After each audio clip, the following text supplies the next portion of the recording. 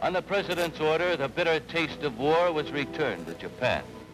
The Doolittle Raiders circa 1942 and the Doolittle Raiders today.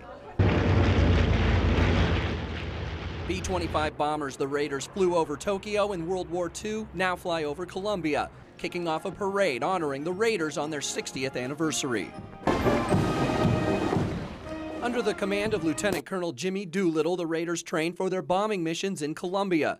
Doolittle's co-pilot, Dick Cole, says the men had little idea of the risk taken in flying nighttime bombing raids over Japan. I think most of us were uh, uh, pretty naive about what was going to happen, but we were, we had uh, probably the best leader, so uh, I don't think too many of us worried about it.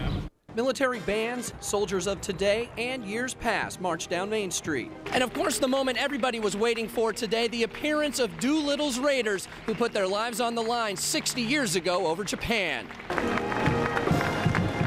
Well, I think these efforts were invaluable. You know, without their efforts, we not, might not be here today. So I think we're very thankful and owe these people a lot of gratitude. Many of the Raiders know they're looked at as heroes, but Dick Cole says there's only one hero from that time, the man for whom their group is named. The only real hero, I think, was the, old man.